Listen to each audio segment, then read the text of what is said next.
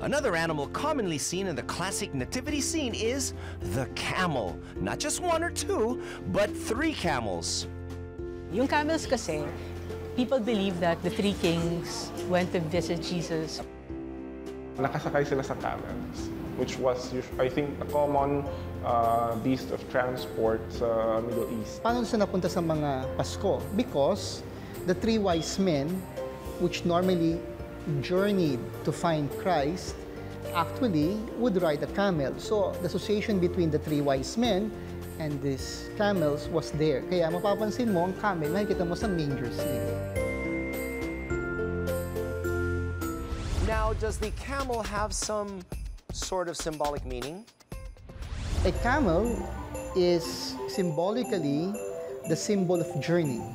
Kasi nga, uh, among all the animals, mapapansin mo, ang camel lang ang kayang gumawa ng mga long distance journeys. So, pag, pag pinag-aralan mo yan, ang mga camel, kasi nila, di ba, meron silang hump which stores water. So, they are very much known to, to be an animal that tries to, to be a symbol of that long journey.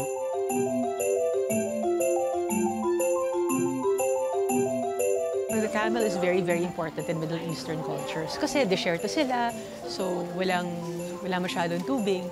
Yung camel kasi hindi naman kailangan palaging umiinom ng tubig.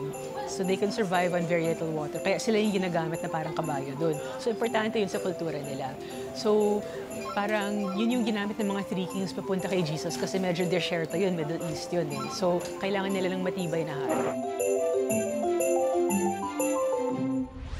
Now, aside from the nativity scene, the image of the camel is also depicted on Christmas cards, posters, and decorations. Nakikita sila usually sa Belen. Doon natin sila nakikita yung mga camels. Yung three wise men, lalabas lang yan sa mga totoong mga manger after na ng ano, Christmas, yung Epiphany kung tawagin nila. So ano pa yan, way way pa after Christmas, December 25, lalabas lang sila yung during the Epiphany.